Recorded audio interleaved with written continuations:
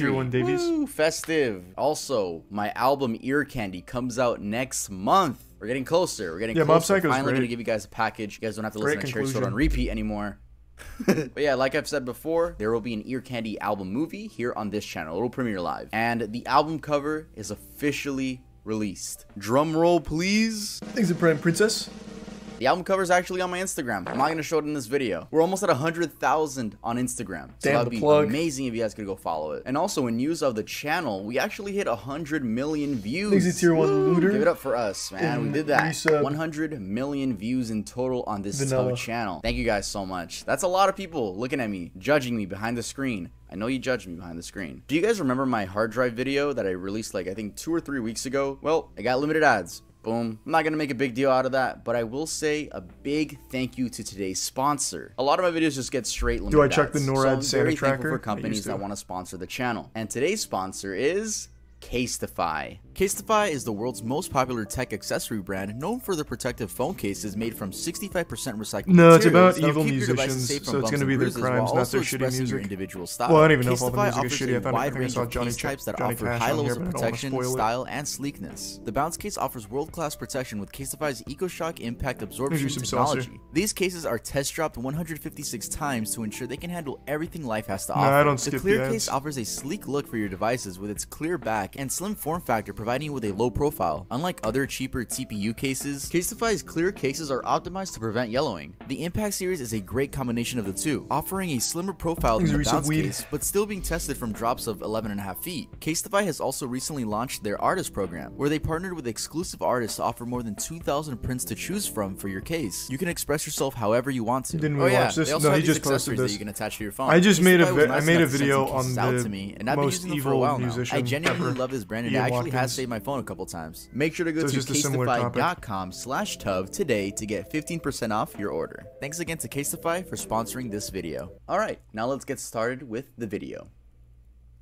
Sid Vicious. John Simon Ritchie, better known by his stage name Sid Vicious, was an English musician, best known as the bassist for punk rock band Sex Pistols. Despite dying in Oh. 1979 at age 21, he remains an icon to some of the punk subculture. To say John had a troubled childhood would be an understatement. He was raised by a single mother who sold marijuana to get by. she later remarried and John now had a stepdad, but sadly, that man passed away six months later due to kidney failure. By the time John was 15, his mother's life was consumed by a heroin and opiate addiction, causing him oh. to feel lonelier than ever. While attending Kingsway College of Further Education, which was a school for students with difficulties, John admitted to a counselor that he had thoughts of and that he would torture and kill cats in his free time. That same year, Ritchie met fellow Kingsway student John Lydon, who introduced him to his friends John Gray and John Wardle. All four, who became known locally as the Four Johns, quit school and began squatting in various dismal locations. Three of the Four Johns would then take nicknames. Lydon Cs. gave Ritchie the nickname Sid Vicious after Ritchie was bitten by Lydon's hamster, Sid. Two years later, in 1975, Glenn Matlock and Paul Cook joined the band, now rebranded to Sex Pistols. Though Ritchie still wasn't a part of the band, it wasn't until 1977 that tensions started rising between member Matlock and their manager Malcolm McLaren, which led to Matlock being kicked from their band for, quote, liking the Beatles. The work environment was pretty toxic, with Matlock revealing that their manager What? purposely made them pick fights with each other because he thought generating chaos between the band was a creative mechanism. Anyway, this is when John Ritchie, aka Sid Vicious, would finally join Sex Pistols and become their new bassist. Just a year later, on October 11th, 1978, Sid and his then girlfriend, Nancy Spungen, hosted a party in their hotel room, during which Vicious took approximately 30 Tuinal tablets, and while many people came and went, he was comatose for the rest of the night. At about 11 a.m. the next morning, hotel staff found Spungen dead on the bathroom floor, with a knife wound in her abdomen. Oh, Vicious was found Christ. wandering the hallway. He first claimed to have killed her, then said he remembered nothing. Two people who had been at the party stated that Nancy was alive at 5 a.m. The murder weapon was identified as a Jaguar K11 hunting knife, which Nancy had purchased for Sid a few days earlier. Vicious was arrested and charged with second degree murder. He told police that he and Nancy had argued that night, but gave conflicting versions of what happened next, saying, I stabbed her, but I never meant to kill her, then saying that he didn't remember anything. Then after that, saying that Spungen had fallen onto the knife. Later, the Yeah, this kind of shit happened. Like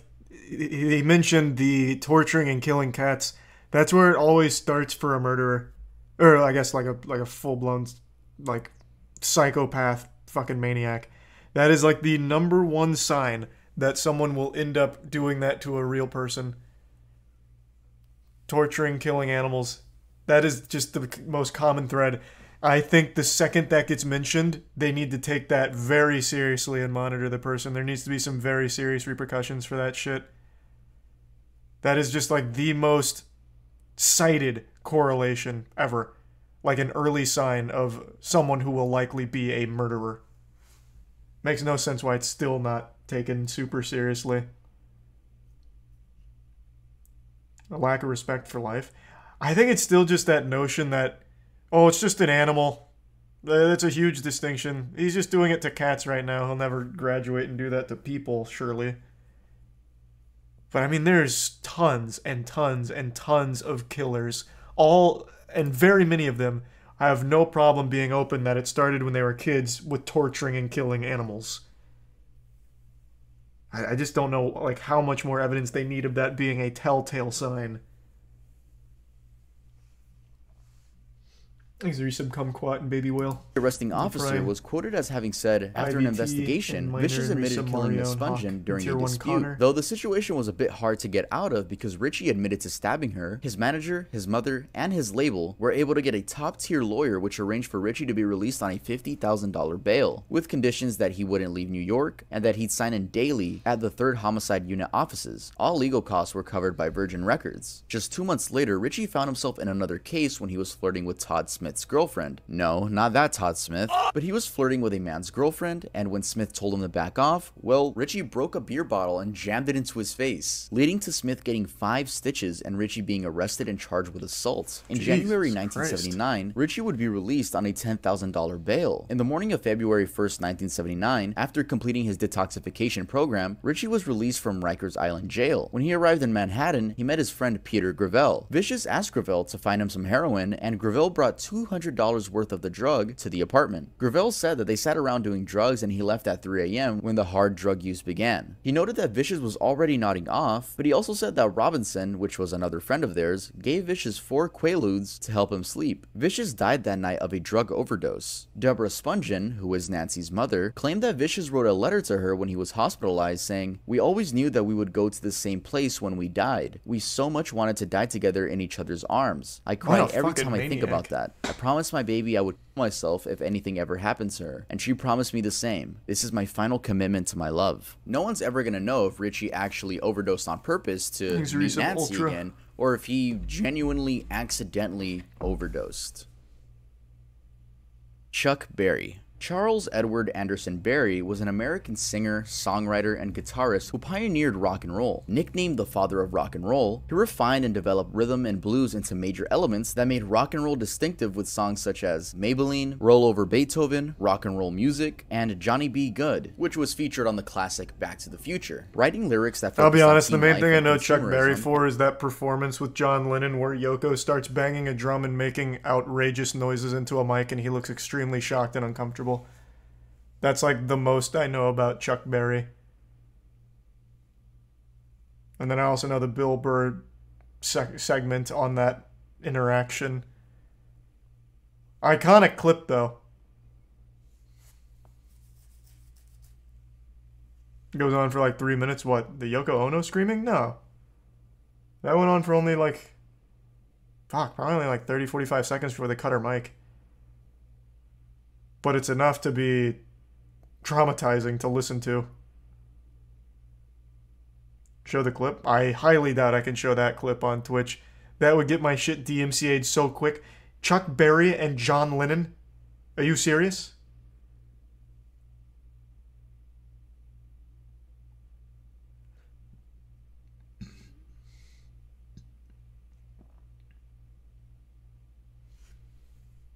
And Yoko Ono. Well, Yoko Ono doesn't even know what the internet is. Yoko Ono still does that shtick. She's lived her whole life around this idea that people like to hear her make goofy noises. I will never forget that, I think it was 2016, 2015. She went to like an art museum and had her own exhibit where she just grabs a mic and goes,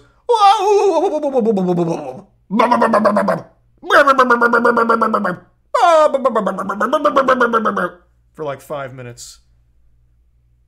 Yoko doesn't know what the fuck the internet is.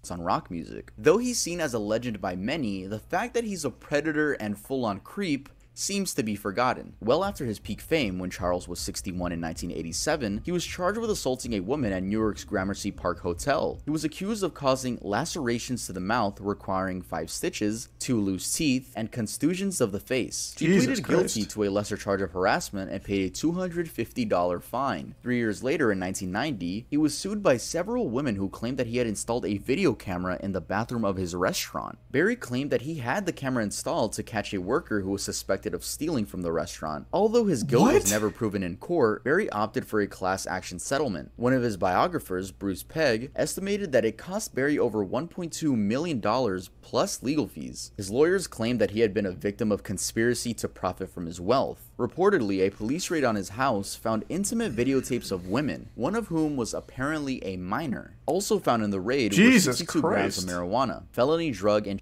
abuse charges were filed, and the abuse charges were eventually dropped, and Berry agreed to plead guilty to misdemeanor possession of marijuana. He was given a six month suspended jail sentence, placed on two years unsupervised probation, and was ordered to donate $5,000 to a local hospital. Still don't know why the abuse charges were dropped, even though there was apparently a video. Later videos Berry recorded of himself urinating on a woman, and another of her defecating on him would surface. And one of the Whoa!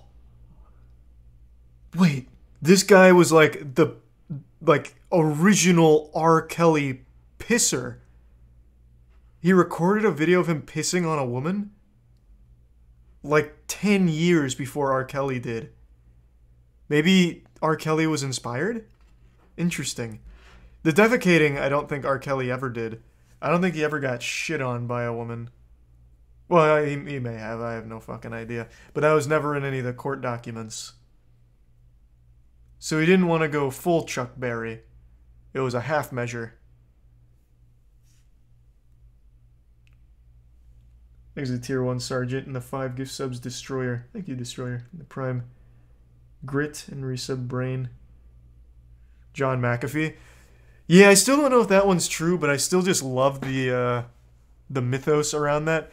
It was rumored that John McAfee would hire prostitutes to sit in this special swing he made that had the ass cut out of it so that way he could lay under it and they'd shit on him.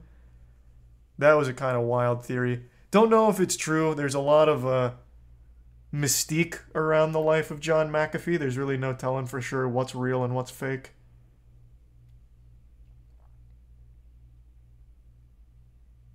I, I, I don't remember if we asked him that on the podcast or not. I don't think so.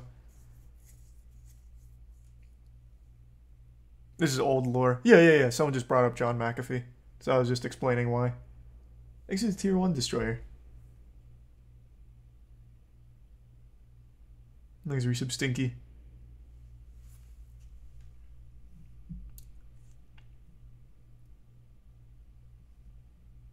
You asked about the whale thing. Yeah, we asked him if he actually had sex with a whale, which he denies. But I don't remember. If, I don't remember us asking about a shit fetish. Thanks to the Prime Cup and the resub P and Nate.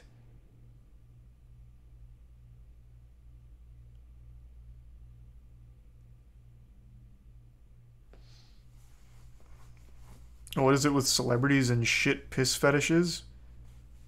I don't fucking know, man. I'm not their sex therapist. I have no clue. If you want me to take like an uneducated stab at it, I'd say it's probably because they reach this level of wealth and fame where they have everything. So the only thing left to give them some kind of thrill is the most deplorable shit. I don't know. Resub Foxy and the Prime Dirty.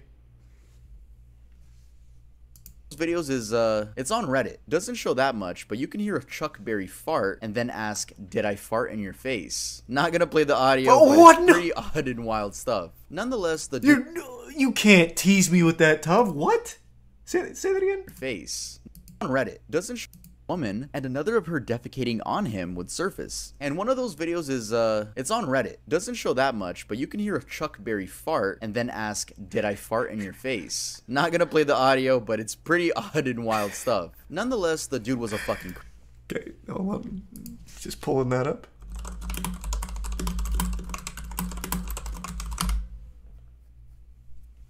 This is called Classic Video Chuck Berry Farts on Prostitute. Okay, I don't know how crude the audio is, so I'm gonna mute for a second and listen to this.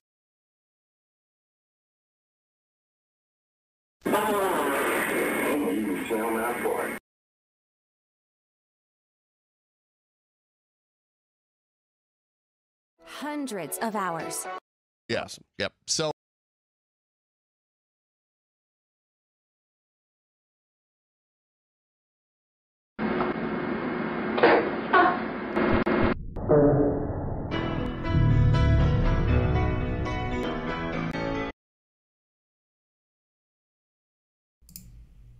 That was hype. That was a lot cooler than I thought it was gonna be too. It's not muted. Well, you're welcome then. How about that? That was hype. The video had like his legs over his head. it was like the fart was aimed at her face.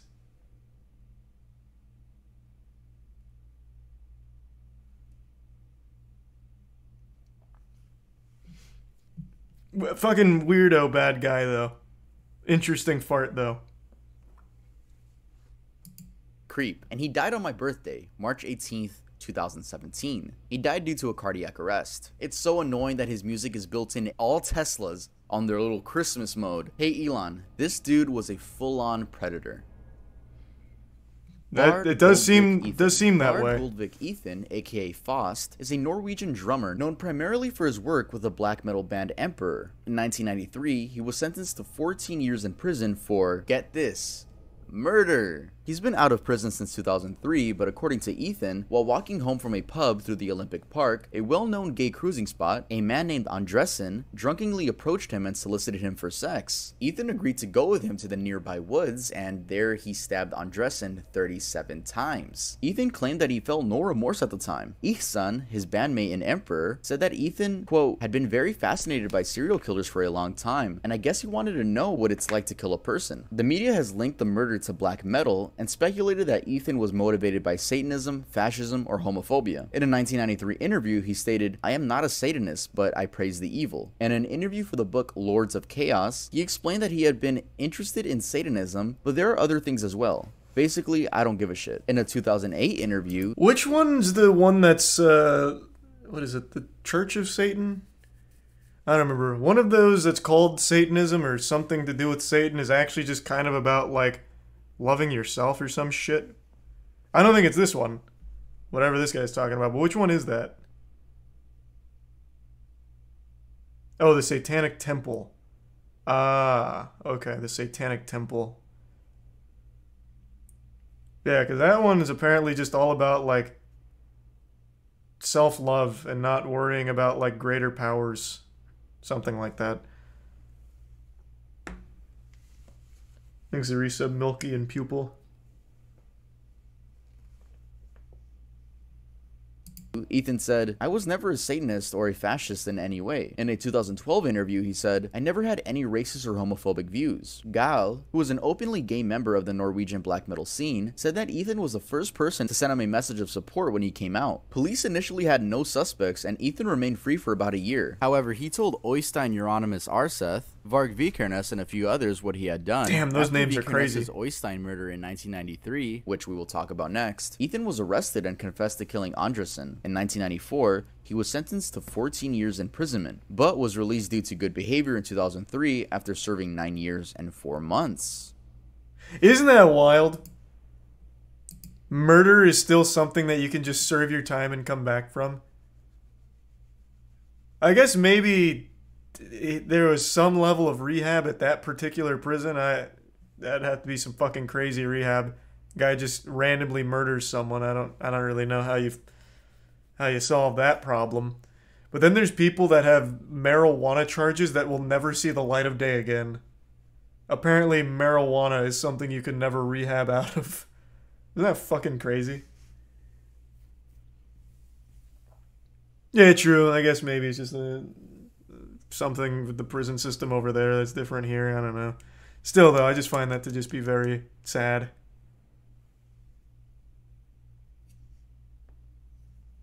And 4 months. Varg Vikernes. Now, the Mayhem Band is a topic you guys have requested a lot, but I honestly don't think I'm gonna make a dedicated video to them anytime soon. There are some great documentaries here on YouTube all about that. However, I will talk about Varg Vikernes, the 1993 to 1994 bass player for the band. On June 6, 1992, the Fantoft Stave Church, dating from the 12th century and considered architecturally significant, was burned to the ground by arson. The cover of Burzum's EP, Ashes, is a photo of the destroyed church. By January 1993, arson attacks had occurred on at least seven other major stave churches, including one on Christmas Eve of Chris. 1992. He was found guilty of several of these cases. At the time, media outlets reported that he was associated with some type of Satanism. In later interviews, Vikernes, Man, that satanic panic was in full effect. arsons, said they weren't satanic, but instead revenge for the Christian desecration of Viking graves and temples. According What? to him, the arsons were on the anniversary of the Lindisfarne Viking raid. He claimed that all the burnings except for one were done by one person. In early 1993, problems came between him and Euronymous, which was the band's lead guitarist, which ended up in Euronymous' murder. It's been speculated that the murder was a result of a power struggle, or a financial dispute, or maybe even an attempt at outdoing the stabbing by Faust. On the night of the murder, Vikernes and Blackthorn drove from Bergen to Euronymous' apartment at Toyengata in Also. Blackthorn allegedly stood in the stairwell smoking, while Vikernes went to Euronymous' apartment on the fourth floor. Vikernes said he met Euronymous at the door. Jesus, this is so much to keep track of. but when he Holy stepped shit. forward and confronted Euronymous, Euronymous panicked and kicked him in the chest. Vikernes claims Euronymous ran to the kitchen to fetch a knife. The two got into a struggle and Vikernes stabbed Euronymous to death. His body was found in the stairwell on the first floor with 23 stab wounds, two to the head, five Yeah, to the sounds like self-defense to 16 me. the back. After the murder, Vikernes and Blackthorn drove back to Bergen. On the way, they stopped at a lake where Vikernes disposed of his blood-stained clothes. Vikernes was arrested on August 19, 1993 in Bergen. The police found 150 kilograms of explosives and 3,000 rounds of ammunition in his home. On May 16, 1994, Fuck, Vikernes was Jesus sentenced Christ. to 21 years in prison, Norway's maximum penalty. The murder of Euronymous, the arson of three churches, the attempted arson of a fourth church, and for the theft and storage of 150 kilograms of explosives. Though Vikernes only confessed to the theft and storage of the explosives, two churches were set on fire the day he was sentenced. Vikernes continued with his band Burzum, which included one other member, Samoth, after his release. He released three further black metal albums, Belus in 2010, Fallen in 2011, and Umskiptar in 2012, and a compilation of re-recorded songs. In the years following his release from prison, Vikernes became an oh, active Jesus. video blogger on his YouTube channel, which was called Thulean Perspective. But YouTube removed his channel from the platform in June 2019. But by that point, the channel had 250,000 subscribers. So there's a chance if he redeemed the 100,000 subscriber play button that YouTube gave a murderer a play button. I'm talking about a murderer that Huge. had already killed someone, not like a YouTuber that ended up killing someone. Like they, they rewarded a murderer with a 100k play button. Varg Vikernes, født 11.2.73, dømmes til en straff av fengsel i 21, 21 år. Well, that's Johnny two Cash. people here that are now out after murdering somebody. Huge. Wow. Eighty tier one platonic and the resub licked Doge in the prime line. And the resub Natanada.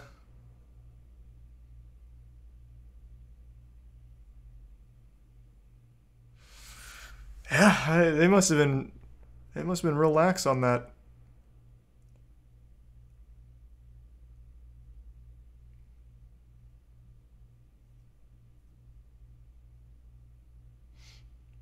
Thanks, penguin.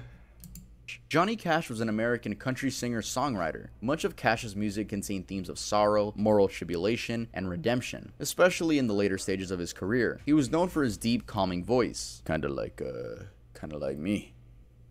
In Los Angeles in the summer of 1965, Pretty- Johnny pretty Cash cool. was living in the wilderness of Southern Oh, was that a California G flat? when he sparked a wildfire with his overheated truck. It blazed through more than 500 Holy acres shit. and threatened the lives of endangered condors. This took the lives of 49 condors, and there were only 53 condors in that entire forest. Sad because in 1987, the California condor was officially declared extinct in the wild, and it's safe to assume Johnny Cash had a lot to do with it. When asked by a judge if he started the fire, he said, My truck did, and it's dead. so you can't question it. He ended up settling the case for $82,000, or about half a million in today's dollars. When held That's legally responsible by investigators, Cash made lovely statements such as, I don't care about your damn yellow buzzards. Yeah, he was definitely feeling pretty remorseful.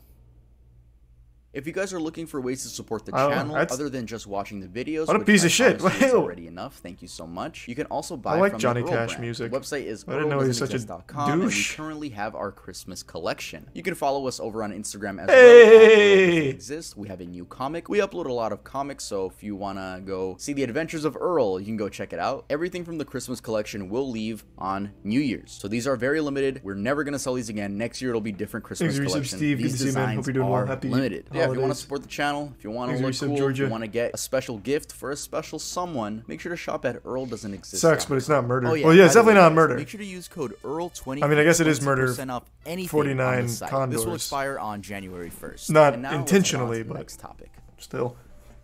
Ozzy Osbourne. John Michael Ozzy Osbourne is an English singer, comment. songwriter, and television personality. He rose to prominence during the 1970s as the lead vocalist of the heavy metal band Black Sabbath. On February 19th, 1982, Bit the head a Osbourne had a few too many drinks and ended up stumbling on the street in nothing but his girlfriend's dress. He was in a dress because she hid all his clothing in order so that he wouldn't go out anymore, but Ozzy being Ozzy, he just put on her dress and left. He ended up taking a leak and thought nothing of it, and it was later revealed that Ozzy peed within the Alamo Plaza, not the Alamo itself. But still pretty disrespectful as it's quite literally nicknamed. I actually remember this. It holds this status because it represents the story. Battle of Alamo, which was a pivotal event in the Texas Revolution following a 13-day battle where Mexican troops reclaimed the mission, killing most of the occupants inside. Police arrested Ozzy, who spent part of the afternoon in a local jail on charges of public intoxication. He was later freed that evening on a $40 bond and performed at the city's HemisFair Arena Convention Center. This also led to him being banned from playing in San Antonio, Texas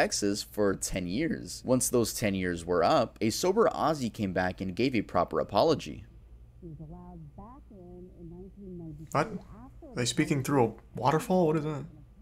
DMX. Oh. On July 1st, 2004, at 8 p.m., DMX, whose real name was Earl Simmons, and his friend were at the Buck. JFK airport, specifically in the parking lot for terminals In 1, Venom. 2, and 3. Allegedly in a hurry, DMX and his accomplice were becoming irritated with the speed of the car in front of them. So DMX turned on the siren lights of his Ford Expedition. Why he had siren lights?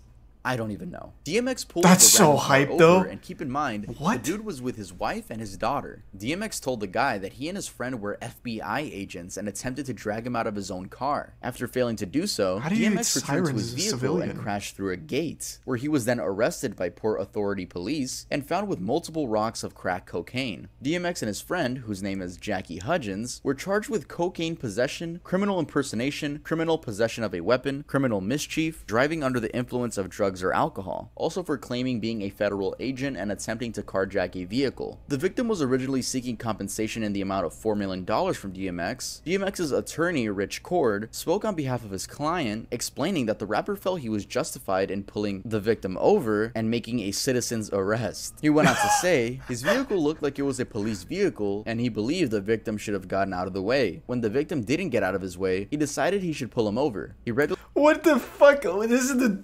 There's no. I, there's no way this works. It's. First of all, it's illegal to impersonate a police vehicle. You can't even have sirens. what do you mean? Like that's already a crime. Like a literal crime. I do love the excuse though that he actually wasn't trying to like steal their car. It was a citizen's arrest. I like that. That's an interesting angle.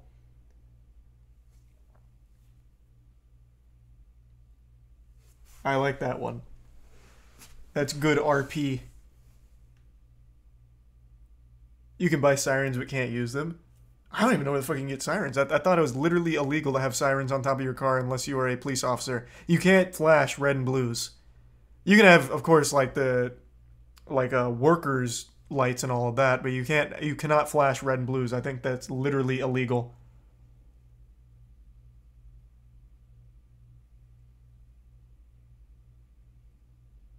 Amazon. well, yeah, I guess you can get like toy ones and slap them up there. Thanks to the resub, Cobra, Molnui, Molnir, and Champ.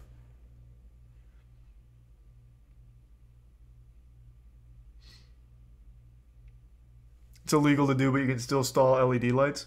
Well, yeah, you can still have like some kind of lights. I'm, I'm saying you cannot be like siren. You cannot. I don't even think you can have fucking red or blue headlights for that very reason. Am I right or wrong with that? You cannot flash anything red or blue because you cannot be mistaken for a law enforcement officer. It's illegal.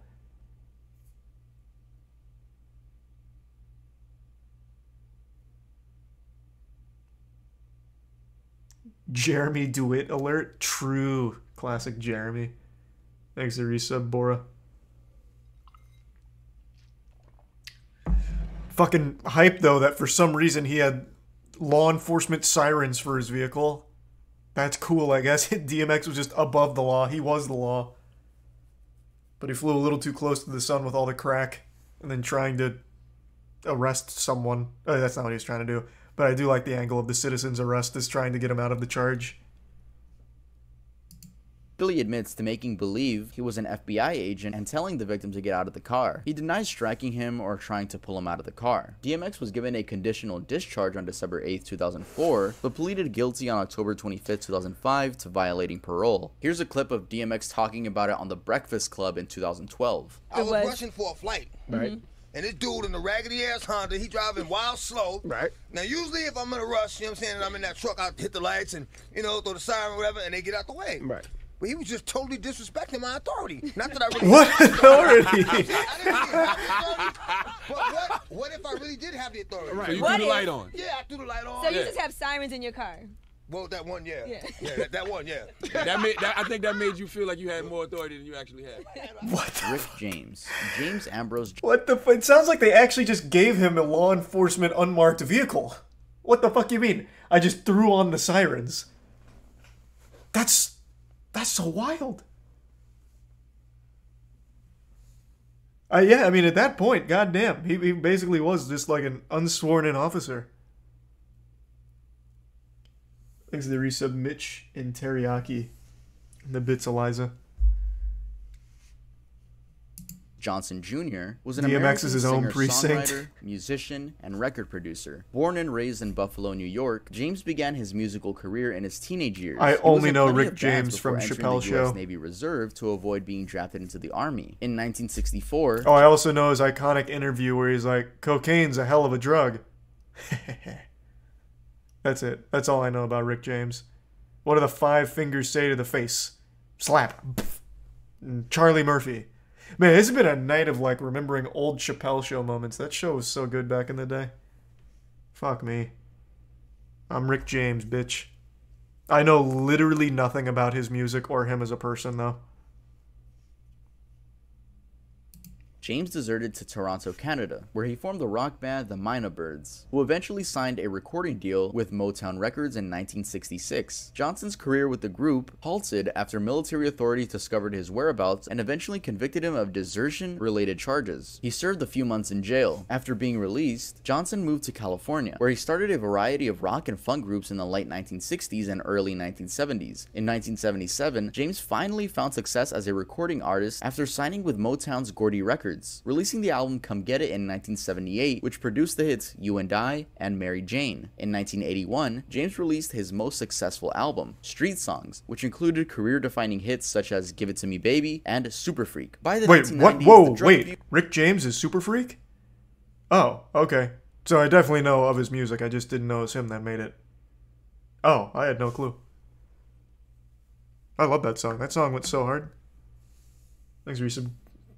Karsten, Drag, Mitch, and the Bit Smoky. Early January Smoky.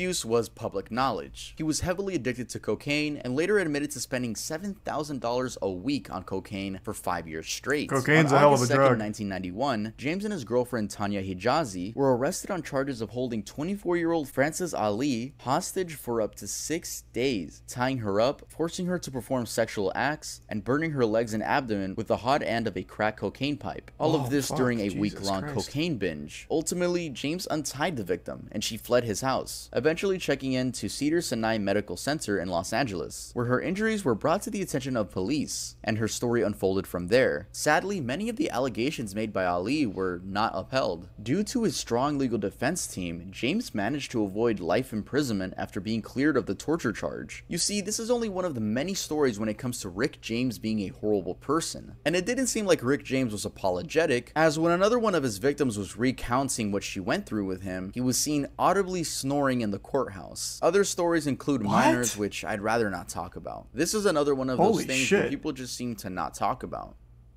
Oh, holy Frank fuck. Sinatra. There is a very Frank, famous picture what- of what? Francis Albert Sinatra, aka Frank Sinatra. This image is the infamous Damn, I didn't know half of these. I only knew a and who would have thought that one of the world's best-selling music artists' arrest was, well, for a crime that doesn't even exist anymore. And what was that crime, you may ask? Seduction. This charge was usually applied when a man convinced an unmarried woman of good repute to engage in an inappropriate encounter with him. There was generally a promise of marriage that would never actually come true, thereby ruining the woman's charge? reputation. It was basically when a man would lie to a woman of high standards in order to fuck her, usually promising marriage. In other words, the official crime for all the 1930s busters with Riz.